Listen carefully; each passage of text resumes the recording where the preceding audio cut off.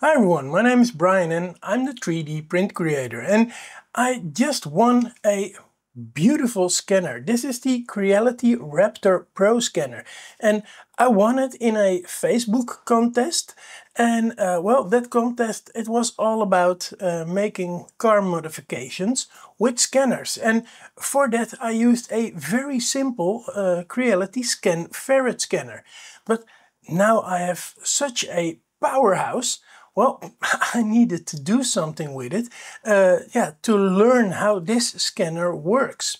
And uh, therefore, at the same time as this scanner came out, uh, also the new software came out in a beta environment. So uh, the Creality Scan 4.0.0 software came out. And well, I had to go into the deep uh, to find out everything about both the scanner and the new software.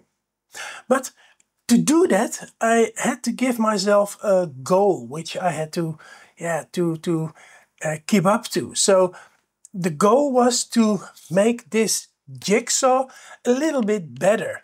Uh, I have a guide rail, which is for another saw that I have, a circular saw, and um, yeah, I want to use that same track uh, for this jigsaw and therefore I wanted to create something, well, something like this. This is the end product that I'm going to show you how I made it. Um, this is a simple adapter that can line up to the track that I have and well, you can put your jigsaw in it and uh, it holds by this lever there so you can easily detach it and attach it like this. It's that simple. And uh, the only way to get that correct measurements to do so is working with a thing like this, a caliper. Uh, then you will be working for hours uh, to find out how every dimension works. Or you could just use this scanner. And that's what I did. So my goal for today is to make this adapter for this jigsaw on a track. So one of the first things that I did is I installed Creality Scan uh, 4, which is beta software or beta, I, I don't know how to say that. And in this software, the first thing I did is I scanned the markers. So these are all the markers that I have on my turntable. And uh, well, I scanned these uh, so that the scanner knows or the software knows where all those markers are. And the thing is, I'm going rapidly through everything you see here because I can't film and scan on the same time while the recording happens on my computer and it doesn't happen when this software is open. Uh, so I have to do it this way. Um, then I made the first real scan and the first real scan, well, that was this one. I'm going, going to put the, the markers off and uh, this is just a part of the feet or, or foot of my jigsaw, just a part. Because after that I made a second point cloud which captured the upside, but also still a part of it. Because, well, yeah, I wanted to record the whole thing, but I had to clamp it in and therefore the whole back, which is here, uh, is not scanned. So that's what I did in the third scan. And then when I had that, well, I made a fourth, a fourth scan just to be sure. So now I've got all the data that I want to have uh, to have the full scan.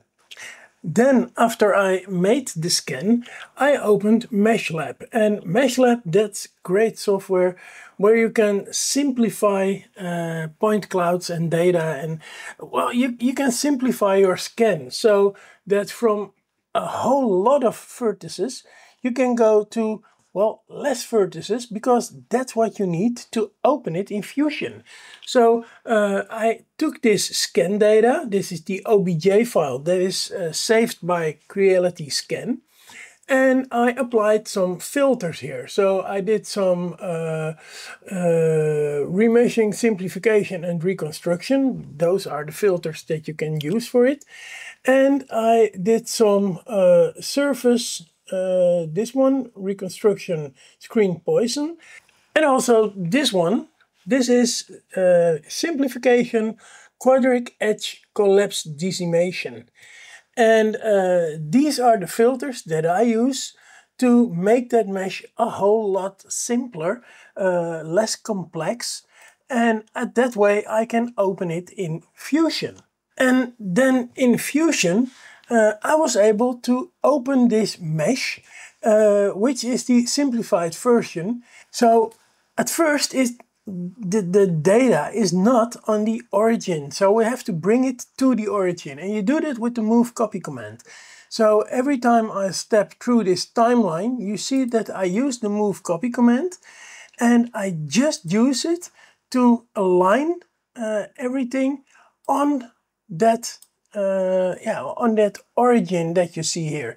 So here it's not completely aligned, but I'm going through it and after I'm done, which takes a few steps, then everything here is aligned. So no matter how I look at it, everything here is aligned. And this is a very important step if you are working with scan data that you have to align everything.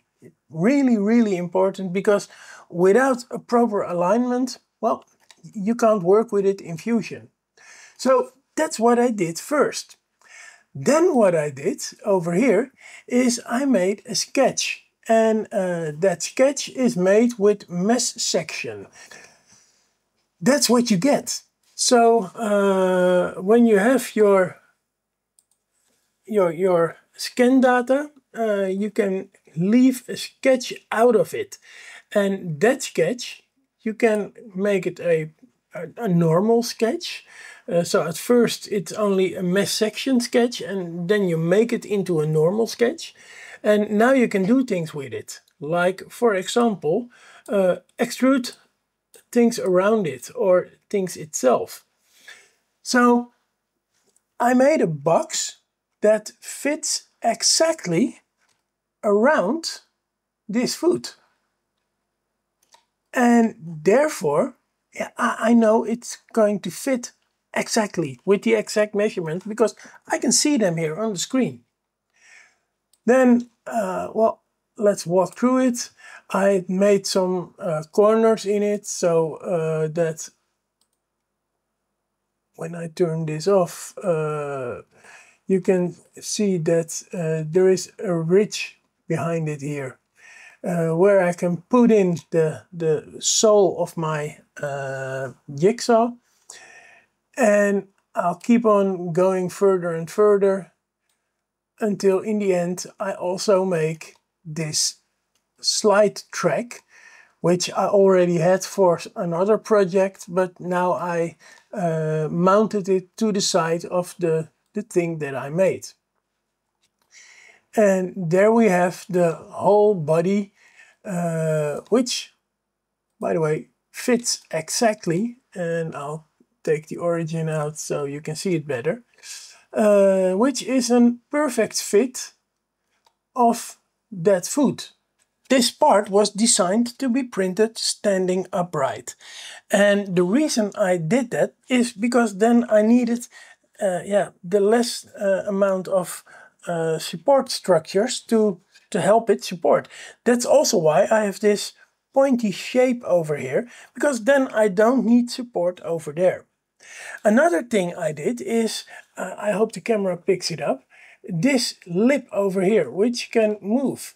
So this on the back side, you can see, is just a small opening, which is just one layer height. So uh, 0.28 millimeters height, because I'm printing this in 0.28 millimeters uh, per layer. And therefore, this can wiggle, which is perfect for holding the jigsaw because when I put in the jigsaw, as you can see over here, this flips over the edge and mounts it so yeah it can't come loose it, it won't fall off now and it's very easy to take it off. So that's how I made it. Now, for some people, this is not strong enough. And that's the reason why I left these openings over here. Because then you will be able to slide in this over here, which goes true and true. Just takes a little bit of convincing what to do and then um, turn this screw in. And now you can be very very sure that this part won't come off. Whatever you do it won't come off. And now it's as sturdy as can be. So that's how I designed it and I'm very grateful to have uh, this Creality Raptor Pro scanner now because this is a much better scanner than the Scan Ferret that I had. And uh, yeah, these are the things I do. I make these kind of parts, uh, whether it's for tools or for cars or for artwork. I do a lot of things for artwork as well. Uh, yeah, that's what I do. So I, I hope you liked it and uh, Creality, thanks for letting me win uh, in this contest. And uh, well, you'll be seeing more of me. My English is not that good, so I hope you will have no problems with understanding me, but uh, hey, thanks a lot. Bye bye.